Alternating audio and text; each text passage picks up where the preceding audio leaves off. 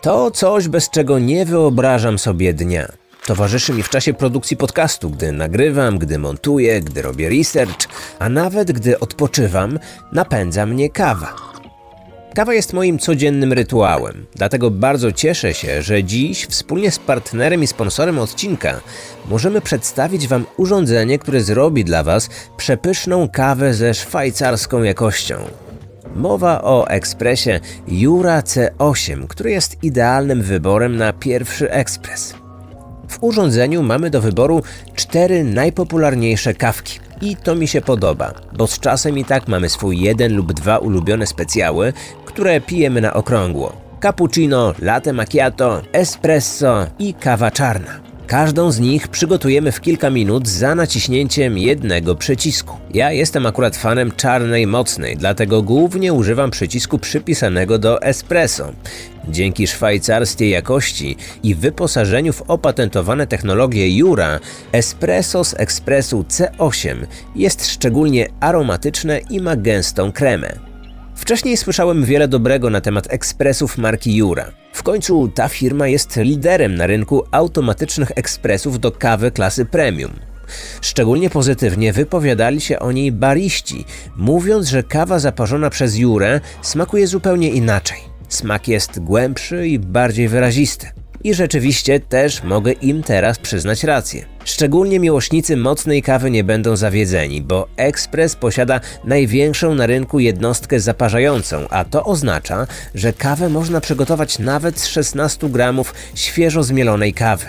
Jest także wyposażony w automatyczne programy czyszczące, które dbają o higienę wewnętrznych elementów. Jeżeli chodzi o konserwację, to Express przeprowadza użytkownika przez cały proces, pokazując na ekranie odpowiednie komunikaty. Mówi nam co, kiedy i jak mamy zrobić. Każdy poradzi sobie też z obsługą urządzenia, bo menu jest intuicyjne, proste i czytelne. Jeżeli myślicie o zakupie ekspresu, to koniecznie weźcie pod uwagę model Jura C8.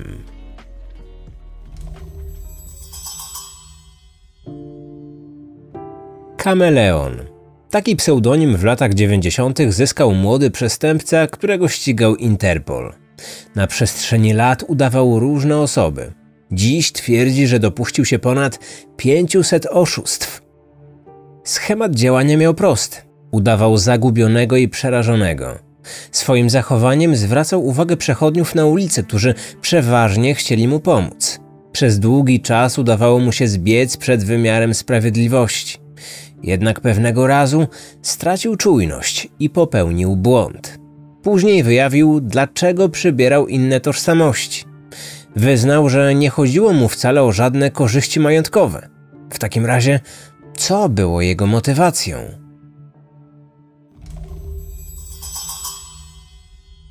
Kryminatorium. Otwieramy akta tajemnic. Beverly Dollarhide miała trójkę dzieci, dwoje już dorosłych. Córka dawno wyszła za mąż i wychowała swoje pociechy. Syn z kolei zmagał się z uzależnieniem od nielegalnych substancji. Mieszkała z najmłodszym, 13-letnim Nicolasem w miejscowości San Antonio w Teksasie. Chłopak nosił inne nazwisko niż pozostali członkowie rodziny. Nazywał się Barclay. Miał najprawdopodobniej innego ojca. Sprawiał problemy. Matka opisała go jako dość trudne dziecko. Wybuchowe, skłonne do aktów agresji, uparte, lubiące za wszelką cenę postawić na swoim. W domu rodzinnym często dochodziło do kłótni. Chłopakowi zdarzało się kilkukrotnie uciec i nie wrócić na noc. Potrafił nakrzyczeć na matkę, powiedzieć, że nienawidzi jej i miejsca, w którym mieszkał, trzasnąć drzwiami i wyjść. Ponadto miał problemy z prawem. Zdarzały mu się kradzieże. Kilkukrotnie wyniósł ze sklepów jedzenie lub ubrania. Pewnego dnia zainteresowała się nim policja. Jedno ze zdarzeń zostało zgłoszone. Ukradł buty. Sprawa miała trafić na wokandę sądu dla nieletnich. Groziło mu umieszczenie w placówce dla nieletnich sprawców. Matka później opowiedziała, że czuła się bezsilna. Dużo pracowała. Kimkolwiek był ojciec Nikolasa, raczej nie uczestniczył w jego wychowaniu. W źródłach brakuje jakiejkolwiek informacji o nim.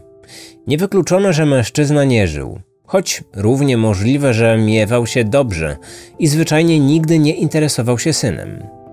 W każdym razie jedyną żywicielką rodziny była matka, która pracowała w sklepie na nocną zmianę. Po powrocie do domu kładła się spać i wstawała wieczorami. Najmłodszy syn wiedział, aby w tym czasie jej nie przeszkadzać i pozwolić odpocząć. Kobieta chciała, by ktoś pomógł w zapanowaniu nad niesfornym nastolatkiem. Poprosiła starszego syna, by ten wprowadził się do nich. Miał mieć oko na młodego i w razie potrzeby zdyscyplinować go. 13 czerwca 1994 roku przypadał w poniedziałek. Były wakacje. Nikolas cieszył się z odpoczynku od szkoły. W końcu miał dużo czasu na spotkania z przyjaciółmi. Często gdzieś wychodził. Nie dogadywał się najlepiej z dorosłym bratem, więc wolał schodzić mu z drogi. Uwielbiał grać w koszykówkę. Tego dnia spotkał się z kilkoma znajomymi na boisku, oddalonym kilka kilometrów od domu. Przed wyjściem matka dała mu kilka dolarów. Poprosiła, by zjawił się o wyznaczonej godzinie na obiad. Kilka godzin później chłopiec zadzwonił z budki telefonicznej. Odebrał starszy brat. Nikolas chciał, by matka po niego przyjechała. Dorosły mężczyzna odpowiedział, że kobieta przecież śpi, że powinien sobie sam poradzić i wrócić pieszo, że nie miał do pokonania długiej trasy. Zrezygnowany trzynastolatek nie spierał się z bratem. Jednak mijały godziny, a jego ciągle nie było. Domownicy początkowo pomyśleli, że chciał im zrobić na złość, odegrać się za to, że nikt po niego nie przyjechał. Czasami w złości go ponosiło. Nie raz i nie dwa zdarzało mu się zniknąć na kilkanaście godzin. Założyli, że to kolejna z takich sytuacji. Zwłaszcza, że pomiędzy członkami rodziny doszło jeszcze wcześniej do sprzeczki ze względu na zbliżający się termin rozprawy. Jego zaginięcie zgłoszono dopiero trzy dni później. Matka po takim czasie uznała, że musiało stać się coś złego. W przeciwnym razie trzynastolatek wróciłby już do domu. Nigdy nie znikał na aż tak długo.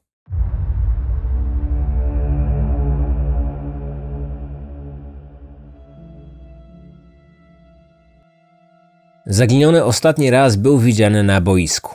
Miał wrócić do domu, ale jego bliscy twierdzili, że do tego nie doszło. Policjanci przesłuchali kolegów, osoby mieszkające w sąsiedztwie domu rodziny oraz tych w pobliżu boiska. Nikt więcej nie spotkał chłopca i nie miał żadnych informacji, które mogłyby pomóc.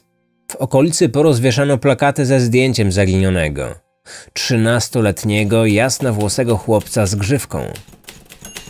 Poszukiwany jest dość drobną osobą jak na swój wiek. Wzrost to około 142 cm, waga 36 kg. Jego znaki charakterystyczne to tatuaże. Litera T na lewej dłoni między kciukiem a palcem wskazującym, J na lewym ramieniu oraz L i N na zewnętrznej stronie lewej kostki. W dniu zniknięcia miał na sobie biały t-shirt, fioletowe spodnie, czarne buty sportowe i różowy plecak. Nie znalazł się również żaden świadek, który zauważyłby podobnego nastolatka zaczepianego przez jakąś dorosłą osobę. Matka uważała syna za dość łatwowiernego. Wiedziała, że na pewno był zły, że po niego nie przyjechała. Gdyby ktoś obcy zaproponował mu wtedy podwózkę, chętnie wykorzystałby nadarzającą się okazję. Kobieta brała pod uwagę, że jej syn został prawdopodobnie porwany. Okolica była spokojna. Rzadko dochodziło w niej do przestępstw. Policja upewniła się, że wśród mieszkańców nie znalazł się żaden mężczyzna skazany wcześniej za skrzywdzenie dzieci. To jednak nie oznaczało, że nie krył się tam ktoś snujący fantazję o zrobieniu krzywdy dziecku. Poza tym mógł to być ktoś z zewnątrz, mieszkający nawet w innej miejscowości. Ktoś, kto postanowił przyjechać do San Antonio i tam zapolować na swoją ofiarę. Była to jedna z hipotez. Możliwości tak naprawdę było więcej. Zwłaszcza, że policjanci nie trafili na żadne dowody, które pozwoliłyby im na ograniczenie swoich teorii. Rodzina uważała, że brak tropów wynikał z niewielkiego zainteresowania sprawą, że śledczy mimo wszystko założyli ucieczkę nastolatka. Nikolas sprawiał problemy wychowawcze. Niebawem czekała go rozprawa w sądzie, który miał zdecydować o tym, czy trafi do ośrodka penitencjarnego dla nieletnich. Istniało prawdopodobieństwo, że obawiał się tego, że chciał to odwlec w czasie i dlatego uciekł i gdzieś się zaszył. Jednak mijały dni, tygodnie i miesiące, a on nie dawał żadnych oznak życia. Żaden trzynastolatek nie jest w stanie samodzielnie przeżyć i się utrzymać. Gdyby uciekł, prędzej czy później wróciłby, albo przynajmniej skontaktował się z matką. Zmusiłyby go do tego podstawowe czynniki, takie jak brak pieniędzy czy dachu nad głową. Fakt, często się kłócili. Chłopak niejednokrotnie w akcie złości wykrzyczał, że jej nienawidzi. Mimo wszystko łączyła ich specjalna więź. Najmłodsze dziecko było oczkiem w głowie kobiety. Przyszło na świat kilka lat później po starszym rodzeństwie. W domu się nie przelewało, lecz znajomi twierdzili, że kobieta robiła wszystko, co w jej mocy, by zapewnić mu najlepsze możliwe warunki. Była pewna, że syn zadzwoniłby do niej, albo chociaż napisał list, że nic mu nie jest, że po prostu nie chce jeszcze wrócić do domu.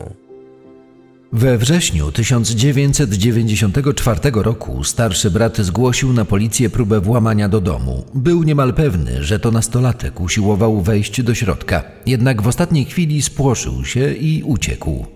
Policjanci nie znaleźli na miejscu śladów świadczących o tym, że ktoś próbował wejść do środka. Ostatecznie ten wątek został zignorowany. Matka z kolei twierdziła, że to dało jej namiastkę nadziei. Wcześniej obawiała się najgorszego, że ukochanemu dziecku stała się krzywda i już nigdy nie wróci do domu.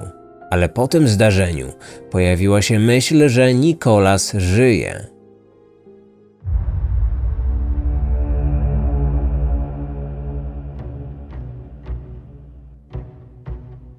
Minęło dużo czasu, zbyt dużo, by liczyć na szczęśliwe zakończenie.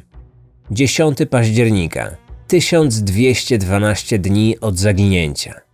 Beverly po powrocie z pracy odsłuchała niespodziewaną wiadomość na poczcie głosowej.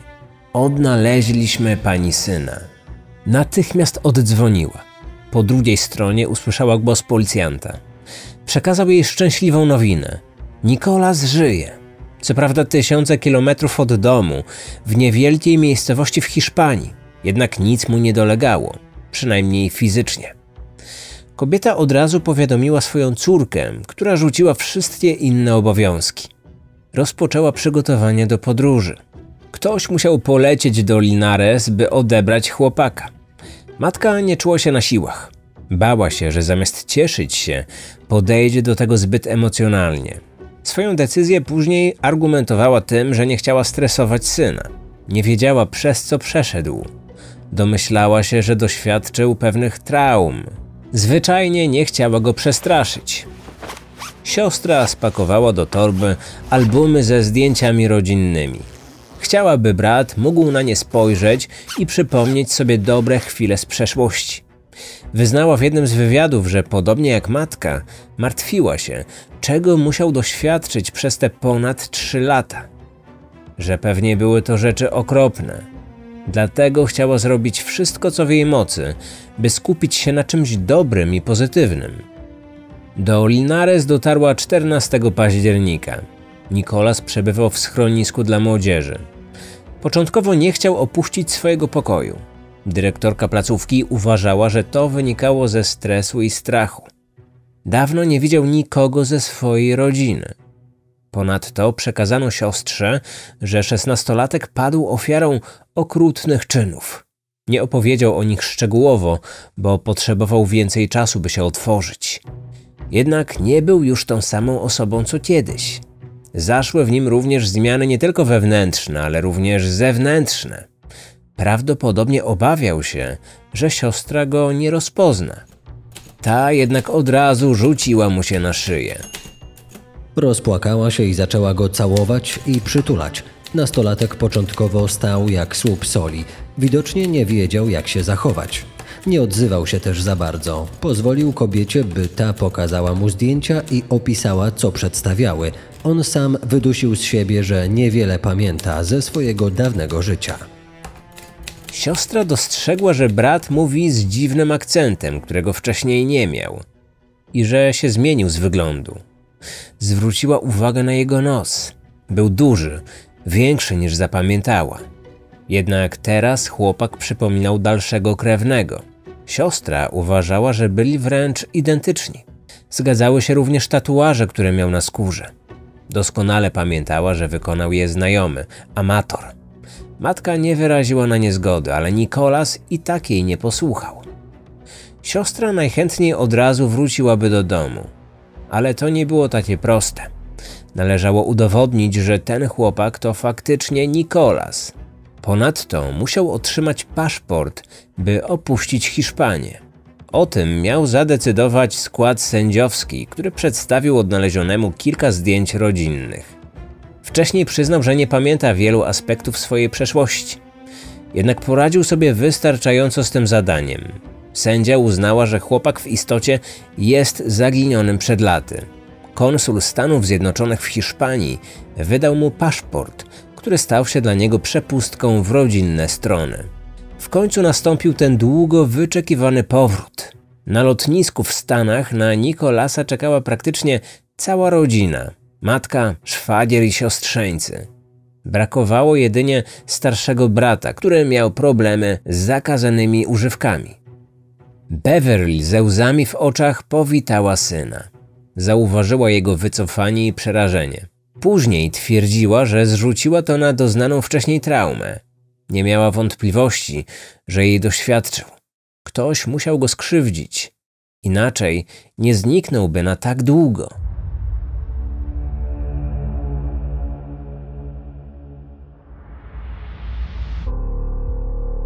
Powrót do dawnej rzeczywistości nie był łatwy. Nikolas od ponad trzech lat nie chodził do szkoły. Teraz musiał do niej wrócić i nadrobić zaległości. Musiał znaleźć nowych znajomych i radzić sobie z łatką odnalezionego chłopca. Agenci federalni mieli nadzieję, że uda im się rozwikłać sprawę i znaleźć winowajców. Krótko później szesnastolatek został przesłuchany. Wcześniej dali mu czas na oddech, odpoczynek i poukładanie wszystkiego. Musiał jednak w końcu powiedzieć, co go spotkało. Opowiedziana przez niego historia mroziła krew w żyłach. Śledczy w swojej karierze spotykali się z licznymi tragediami, ale to, co opowiedział, przechodziło ich pojęcie. Brzmiało jak fabuła jakiegoś filmu. Chłopak zaczął od słów: Zostałem porwany przez wojskowych. Kiedy wracał z gry w koszykówkę do domu, został zaczepiony przez dwóch mężczyzn. Porozmawiał z nimi przez chwilę, po czym wciągnęli go siłą do wana. Do twarzy przyłożyli mu chusteczkę z chloroformem. Stracił przytomność. Gdy obudził się, nie miał pojęcia, gdzie przebywał. W pomieszczeniu były inne dzieci, mniej więcej w jego wieku. Wykorzystywanie i bicie. Tak wyglądała ich codzienność. Czasami zamiast jedzenia musieli żywić się insektami, bo to jedyne co dostawali. Pod żadnym pozorem przetrzymywani nie mogli rozmawiać w języku angielskim. Nikolas został zmuszony do używania francuskiego, którego wcześniej w ogóle nie znał. Musiał się jednak go nauczyć, inaczej zostałby ukarany. W ciągu trzech lat zapomniał swojej ojczystej mowy. To dlatego mówił z wyraźnym francuskim akcentem. Oprawcy próbowali wymazać tożsamość tych dzieci, zrobić z nich zupełnie inne osoby. Dlatego nie używano w ogóle angielszczyzny. Ale to nie wszystko. Nikolas twierdził, że wojskowi zmienili ich wygląd, między innymi kolor włosów czy nawet oczu. Do tego drugiego wykorzystali specjalny roztwór. W ten sposób niebieskie tęczówki, które chłopak miał po mamie, stały się ciemne. Dzieci co jakiś czas były przewożone w inne miejsce. Używano do tego wojskowych samolotów. Najpierw pozbawiano ich przytomności przy użyciu chloroformu. Szesnastolatek dodał jeszcze, że żołnierze byli różnej narodowości. Niektórzy pochodzili ze Stanów, inni z Meksyku. Znalazło się też kilku Europejczyków. Agentka federalna prowadząca sprawę była przerażona szczegółami opisanymi przez ofiarę nie zdawała sobie sprawy, że wojsko dysponuje takimi narzędziami jak możliwość zmiany koloru oczu. Myślała, że jest to niewykonalne. jednak uwierzyła szesnastolatkowi. Jego historia brzmiała autentycznie. Miało tylko nadzieję, że tę szajkę przestępców wojskowych uda się szybko odnaleźć i zapobiec kolejnym tragediom. Pojawił się problem brak konkretnych tropów i dowodów. Śledczy błądzili po omacku i nie mogli znaleźć żadnego punktu zaczepienia. Obawiali się, że winowajcy nie poniosą żadnej odpowiedzialności. Niedługo później policjantka dostała informację od pewnego prywatnego detektywa, który podzielił się z nią swoimi własnymi odczuciami w tej sprawie. Uważał, że odnaleziony chłopak nie jest tym, za kogo się podaje, a zwykłym oszustem.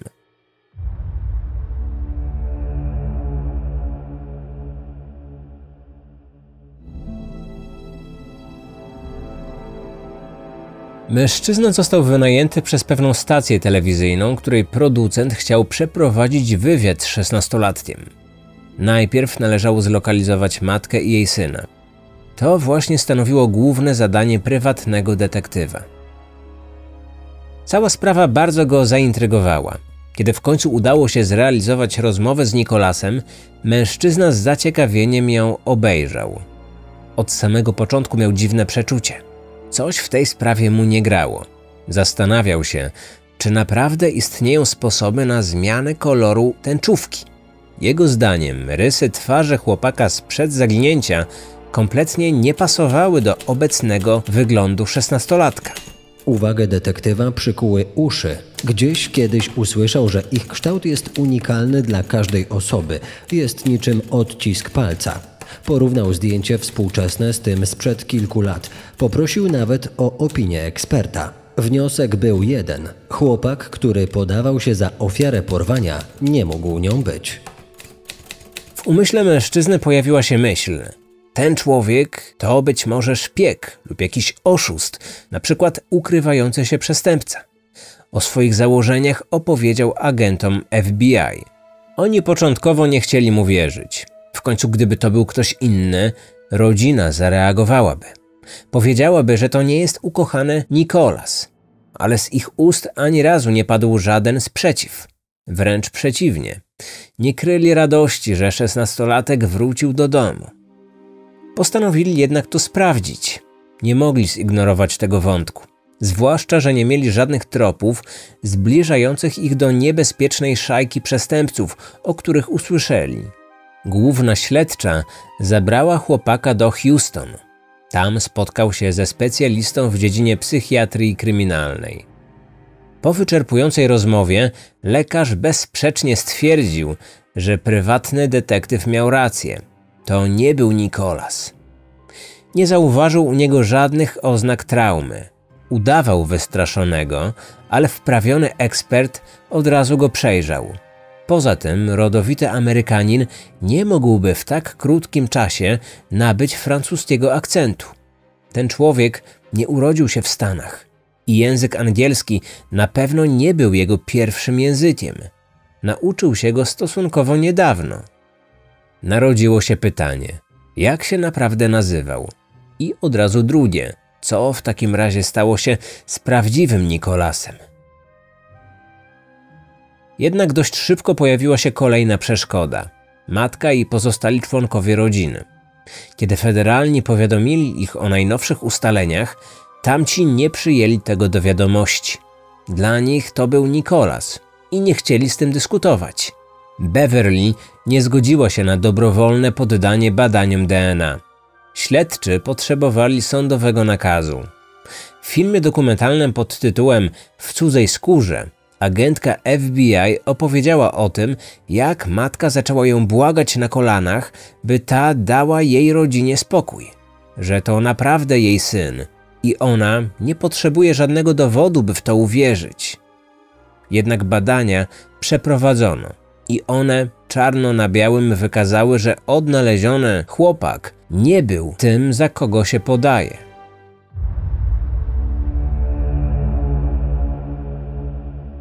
Pobrano od niego odciski palców i sprawdzono je w międzynarodowej bazie danych.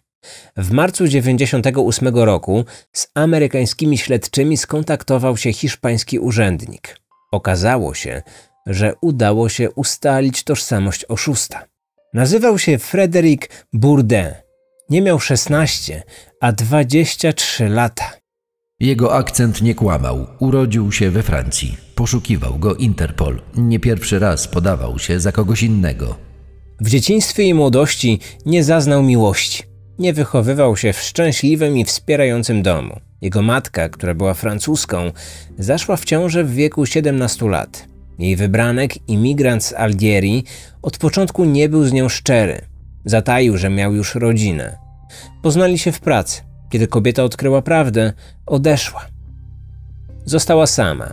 Nie znała nawet nazwiska ojca dziecka, więc nie mogła go później odszukać.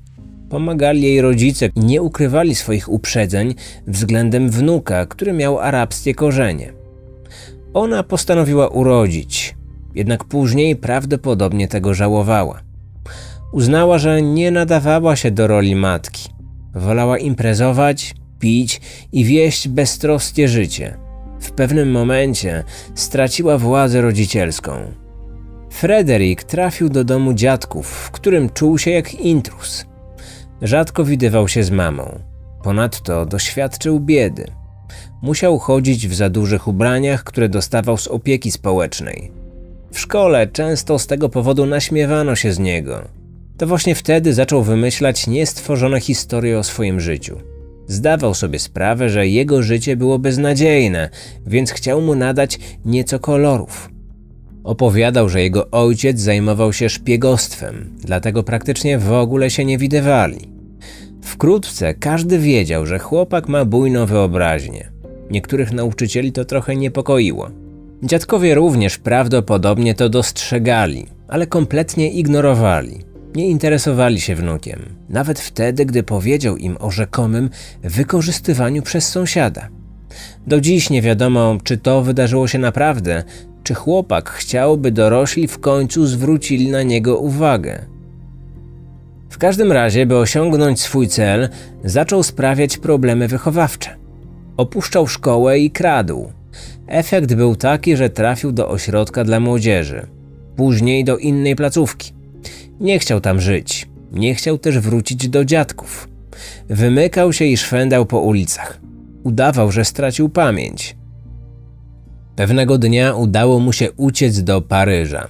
Nie miał przy sobie żadnych pieniędzy, nie wiedział gdzie spędzić noc. Kiedy zwrócił na niego uwagę policjant, powiedział, że ma na imię Jimmy, że jest Brytyjczykiem, że się zgubił i nie wie gdzie jest.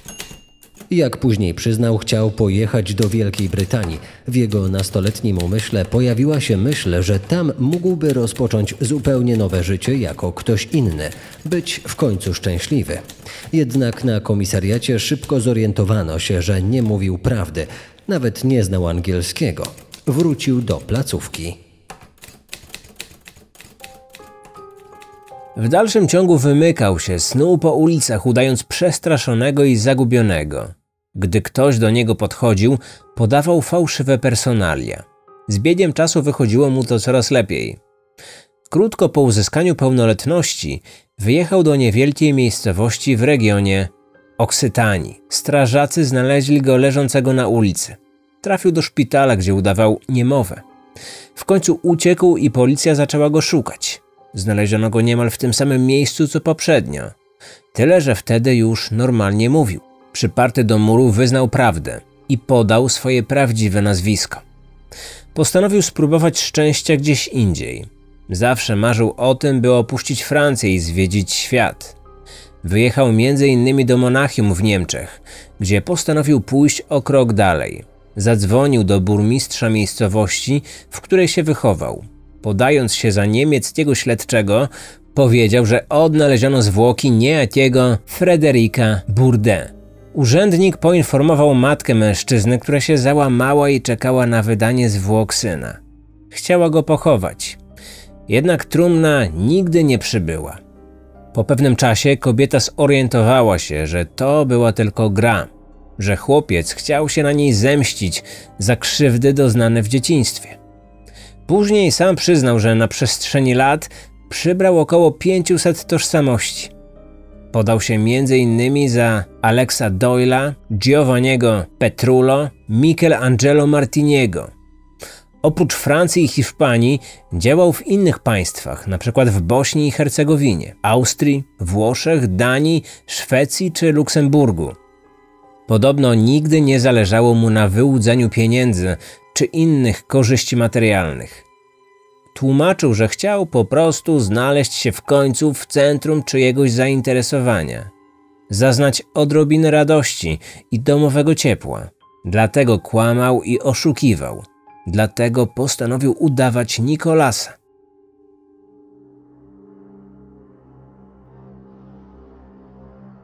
Kiedy znalazł się w Linares, nie wiedział, co ze sobą zrobić. Miał przy sobie kilka drobnych monet. Poszedł do budki telefonicznej. 7 października skontaktował się z lokalną policją. Powiedział, że przyjechał tam z żoną na wakacje, że spotkali przerażonego nastolatka bez żadnych dokumentów. Nie wiedzieli, co powinni zrobić, jak mu pomóc. Kiedy funkcjonariusze przybyli na miejsce, oczywiście nie zastali małżeństwa. Zobaczyli tylko około 15-letniego chłopaka, który faktycznie był przerażony i zasłaniał twarz. Zawieźli go do schroniska dla młodzieży. Tamtejsze władze próbowały ustalić, kim był, poznać jego personalia, by poinformować bliskich, że nic mu nie jest.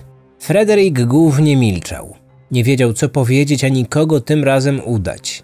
Chciał wypaść wiarygodnie, ale brakowało mu pomysłów. Odparł jedynie, że jest Amerykaninem. Po kilku dniach dyrektorka placówki przycisnęła go do muru i powiedziała, że musi im coś więcej zdradzić. Mężczyzna podający się za nastolatka w końcu częściowo uległ. Postawił jednak ultimatum. Zostanie w biurze dyrektorki sam i zadzwoni do swojej matki. Argumentował to tym, że potrzebuje przestrzeni. O dziwo, wyrażono zgodę. W książce telefonicznej znalazł kilka numerów do amerykańskich komisariatów. Podając się za śledczego, zdobył kontakt do Centrum Zaginionych Dzieci. Tam twierdził, że prowadzi sprawę dotyczącą młodego Amerykanina, który nie chce zdradzić swojego nazwiska. Podał swój opis wyglądu, licząc na to, że ktoś z zaginionych w ostatnich latach będzie do tego pasować. Po drugiej stronie usłyszał, że być może chodzi o Nikolasa z Teksasu.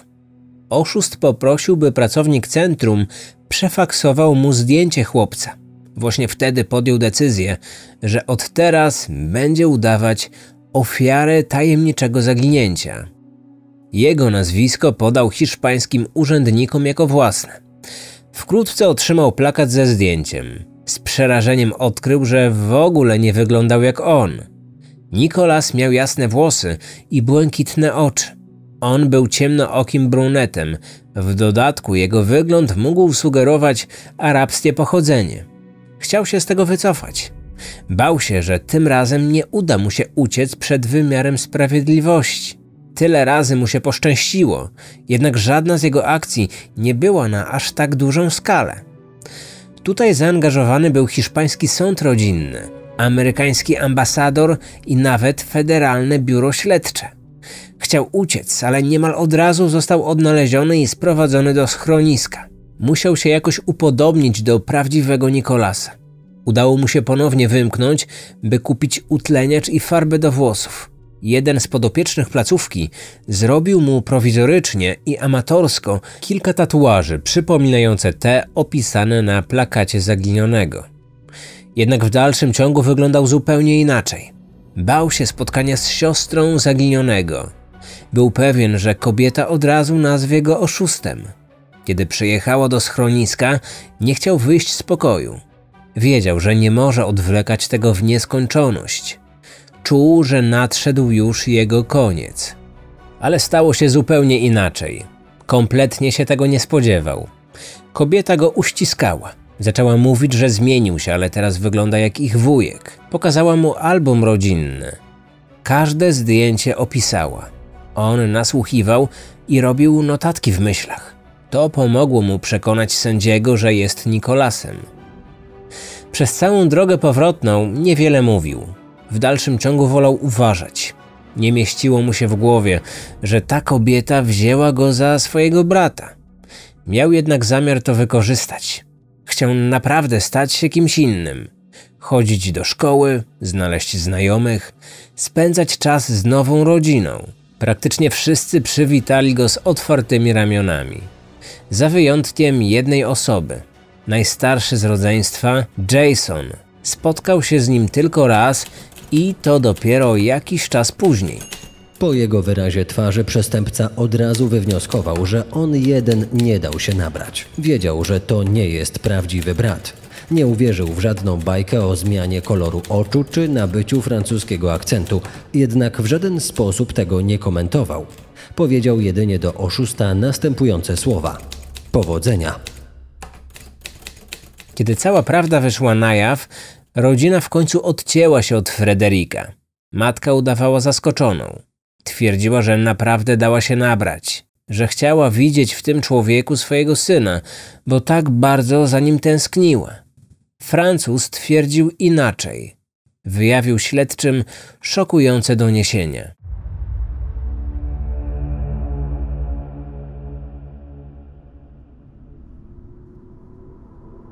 Oni nie wiedzieli, czy można mu ufać. Uważali go za mitomana, który od dawna żył w kłamstwie. Prawda i fałsz zaczęły się w jego przypadku zacierać. Już sam nie mógł odróżnić rzeczywistości od fikcji. Mimo to nie mogli całkowicie zignorować tych słów. Podobno Beverly wyznała mu, że Nicholas nie żyje, że pomiędzy nim a Jasonem doszło do kłótni, która skończyła się tragicznie, że pomogła starszemu synowi ukryć zwłoki młodszego, że straciła jedno dziecko i nie chciała, by to samo stało się z drugim. Kobieta została poddana badaniu wariografem aż trzykrotnie. Za pierwszym i drugim razem poszło jej dobrze, ale później oceniono, że nie mówiła prawdy. Śledczy doszli do wniosku, że ona faktycznie coś ukrywa. Wie, co stało się z nastolatkiem. Okazało się, że w jej domu dochodziło do przemocy. Policja pojawiała się nawet kilka razy w tygodniu. Krzyki, awantury, trzask niszczonych przedmiotów, płacz. Takie odgłosy były tam na porządku dziennym. W dniu zniknięcia chłopca doszło do kłótni pomiędzy nim a matką. Wisiało nad nim widmo umieszczenia go w ośrodku dla nieletnich sprawców. Obecność starszego brata, uzależnionego od nielegalnych substancji i agresywnego, wcale nie pomagała. 12 lipca 1994 roku przyjechała policja, którą wezwała sama Beverly. Kiedy policjanci zapukali do drzwi, odparła, że nie są już potrzebni. Jednak kobieta i jej starszy syn zostali przesłuchani. Mężczyzna powiedział, że matka wypiła zbyt dużo alkoholu i krzyczała na niego bez powodu. Jakiś czas po zniknięciu chłopca w domu dochodziło do częstych kłótni. Za którymś razem Jason musiał opuścić dom i spędzić noc w innym miejscu. Coraz częściej sięgał po psychoaktywne substancje.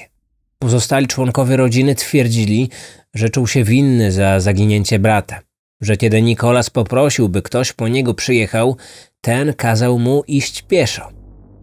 Śledczy zaczęli się zastanawiać, czy przypadkiem nie chodziło o coś innego. Poczucie winy mogło naprawdę go męczyć, ale nie dlatego, że zignorował prośbę. Zadawali sobie pytanie: co jeśli dorosły mężczyzna naprawdę zamordował nastolatka? Przesłuchanie sąsiadów wykazało, że matka również była uzależniona. Pierwszy raz sięgnęła po towar za namową Jasona. To właśnie gdy byli pod wpływem, najczęściej się kłócili. Często wyżewali się na najmłodszym, nawet bez powodu.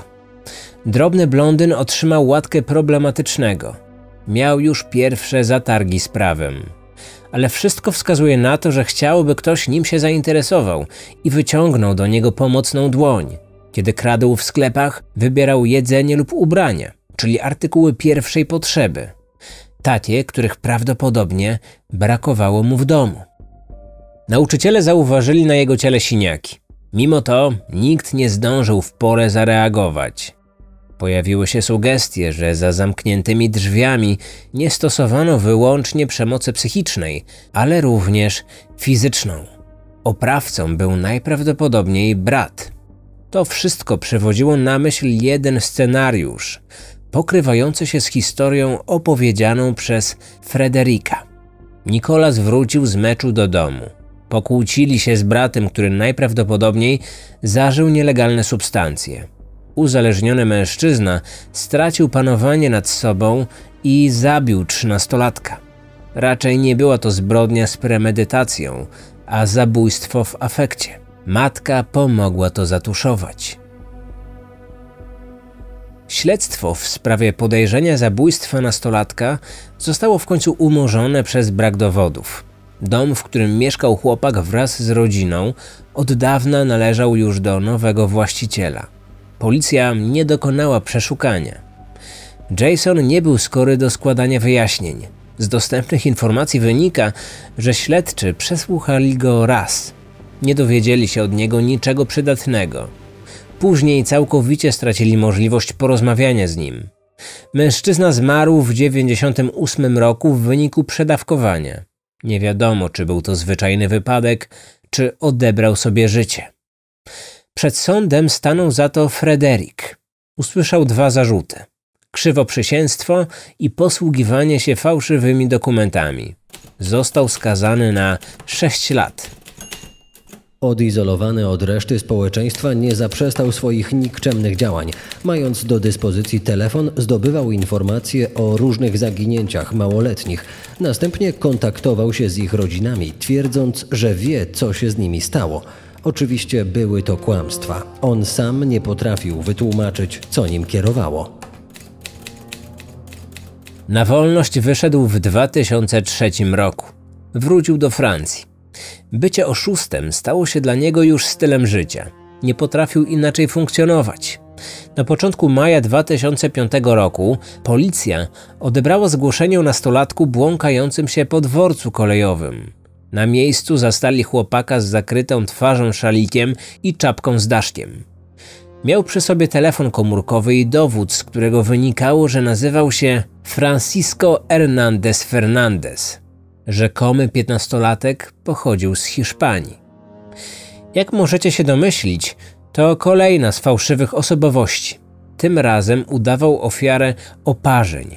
Nie pokazywał twarzy, dzięki czemu jego fortel się udał.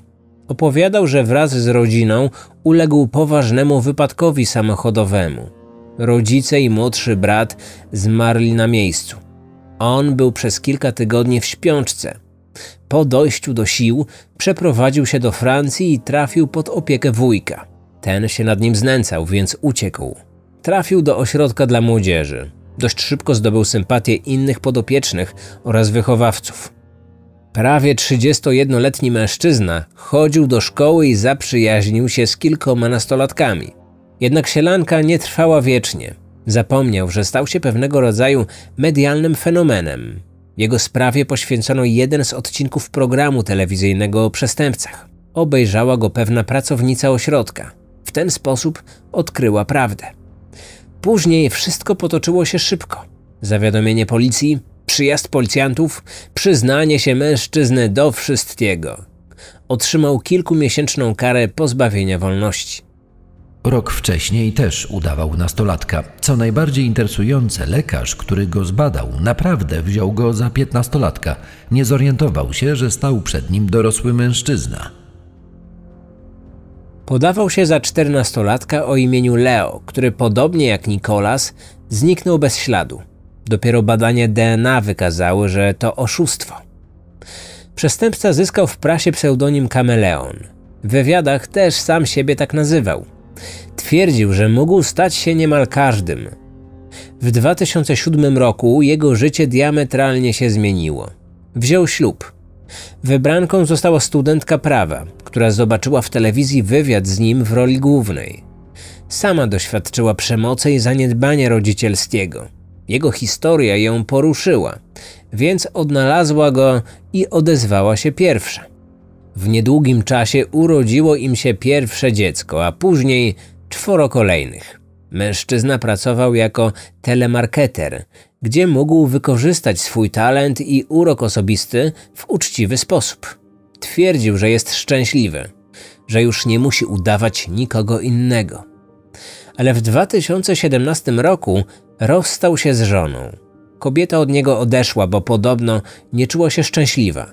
Co stało się potem? Czy ostatecznie się rozwiedli?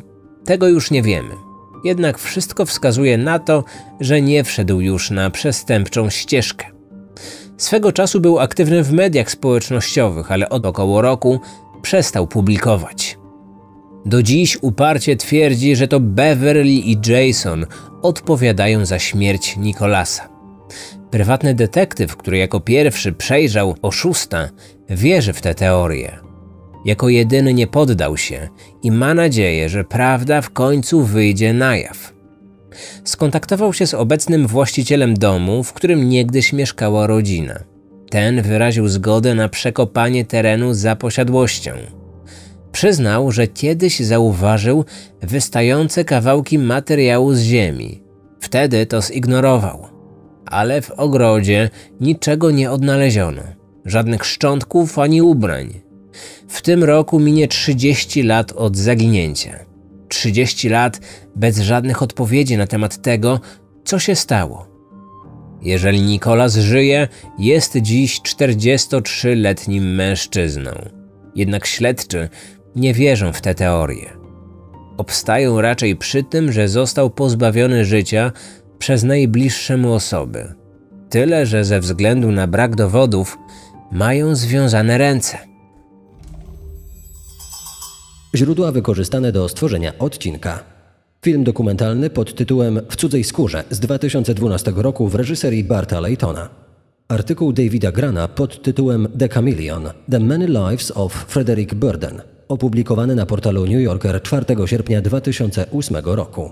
Odcinek programu 60 Minutes pod tytułem Mystery of Missing Boy Nicholas Barclay and His Imposter Frederick Burden